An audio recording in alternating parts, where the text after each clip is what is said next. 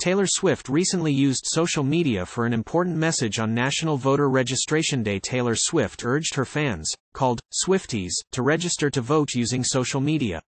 On National Voter Registration Day on Tuesday, Swift shared a message with her 272 million plus Instagram followers encouraging them to register to vote.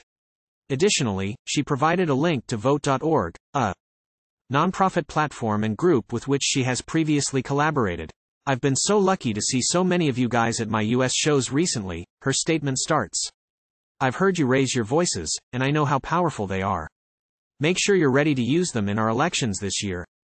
Swift's devoted following has consistently supported her, whether it is through Spotify, streaming, or album sales. The fact that her most recent re release of Speak Now, Taylor's version, arrived at number one helped her become the first female artist to surpass 100 million monthly Spotify listeners.